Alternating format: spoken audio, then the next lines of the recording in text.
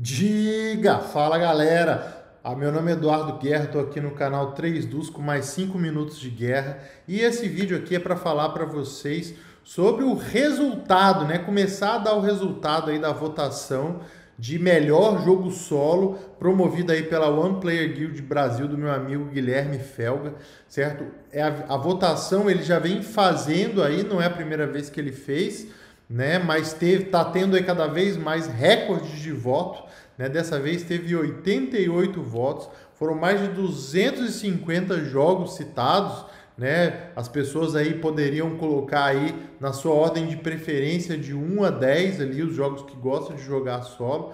E vamos ver aí depois da vinheta quais os jogos que entraram do vigésimo ao décimo primeiro lugar. Vamos lá!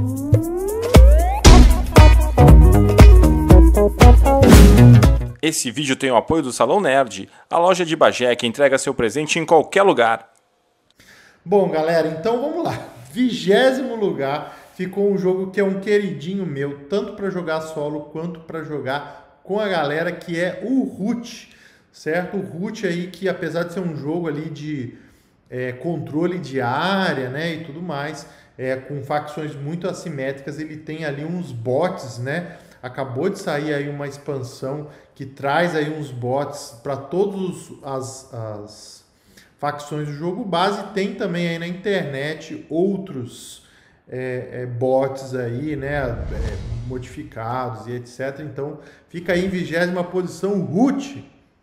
Décima nona posição ficou o CO2, para não dizer aí que não temos jogo pesado aí para se jogar solo né? Do designer português aí do Lisboa, do Kanban, né? Então, um joguinho pesado. Eu não joguei ainda, mas fica aí a dica.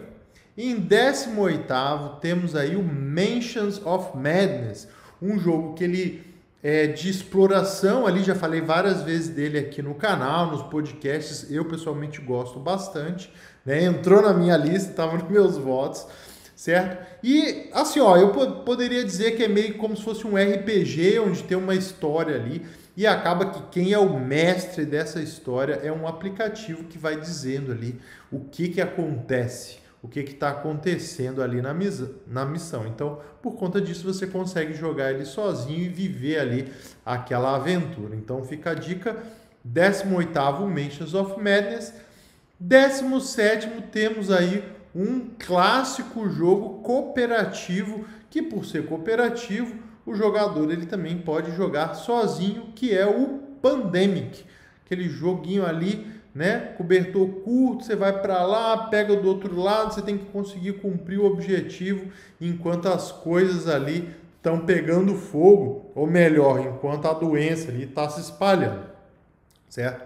17 16 o Wingspan, um jogo aí que foi bastante premiado, acabou pessoalmente não me pegando tanto, nem para o jogo solo, nem para o jogo multiplayer, mas que agrada muita gente, está aí na 16 posição. Agora na 15 posição, me dá licença que eu vou ler direitinho aqui, porque o nome desse jogo é complicado. Teotihuacan certo? Conhecido aí também para os mais íntimos aí como Chuchucão, né? Então é um jogo aí também eu não tive a oportunidade de jogar ainda, mas é um jogo aí também bem falado e ficou aí em 15ª posição para o jogo solo. E 14 um jogo aí que acabou de sair no Brasil, saiu há muito pouco tempo no Brasil, que foi o Maracaibo.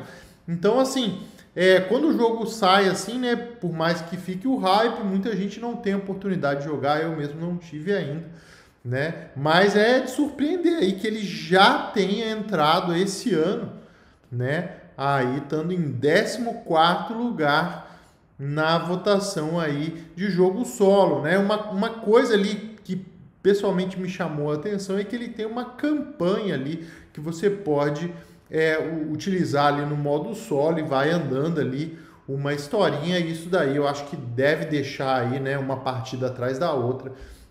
Bem interessante se jogar, né? Diferente daqueles é, euros que você é, é, os jogos mais puxados ali para o lado euro, que quando você joga solo, apesar de ter a variação na partida, é só aquela partida. Então ter essa continuidade aí, acho que deve dar aquele gostinho adicional aí para o Maracaibo ter ficado aí em 14 lugar.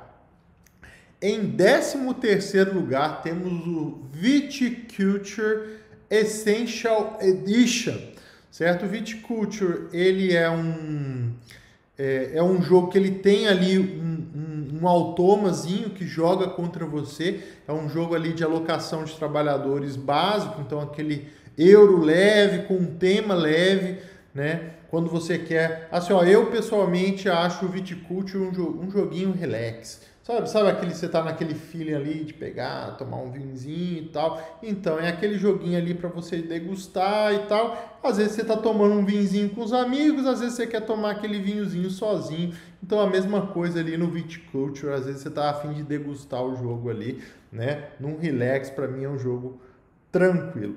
Certo? É, décimo segunda posição temos aí o Arkham Horror mais o LCG, certo? Então, é, é, o LCG, que significa Living Card Game, é um jogo aí que vai recebendo várias expansões, certo? Ao longo do tempo, e com isso daí eu também não tive oportunidade de jogar para comentar sobre a mecânica, mas é interessante aí, ó. Não quero dar um spoiler aí do top 10, mas tem um outro LCG lá também, acho interessante essa questão aí de ter aparecido dois LCGs aí nesse top 20, certo? E em 11 lugar, que vai ser o último que eu vou citar aqui neste vídeo hoje, certo? Tá aí o Gloomhaven, certo? O jogo aí que top 1 aí normal, né? Ficou em 11 aí de jogo solo né? Aquele jogo também de aventura, de exploração e tal, né? Que tem ali uma historinha, tem um conteúdo muito grande para se explorar, né? Então, é, jogar solo é uma forma que você tem de fazer aquela campanha andar para frente, né? Às vezes reunir sempre a mesma galera pode ser difícil. Então, jogar ele solo aí fica uma excelente opção.